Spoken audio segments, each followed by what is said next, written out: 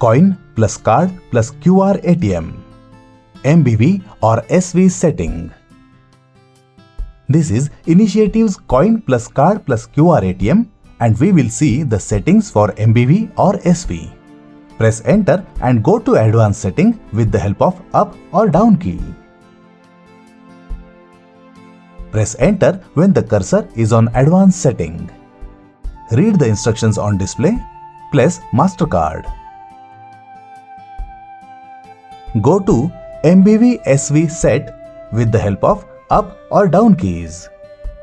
Press enter when the cursor is on MBV SV set. Here we can see the default setting of MBV and SV for 4 tabs. SV is set for tab 1, 2 and 4 and MBV is set for tab 3.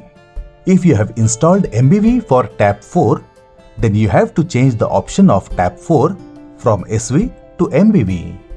Press enter for 3 times to go to tab 4. Press down key to change the option to MBV. Press enter to set the settings.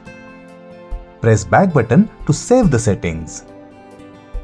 Press back button again to exit from settings. Thank you.